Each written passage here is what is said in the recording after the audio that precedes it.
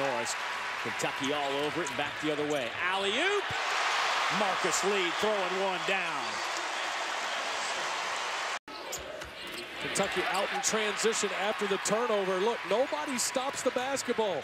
Andrew Harrison drives it all the way up inside the key and just throws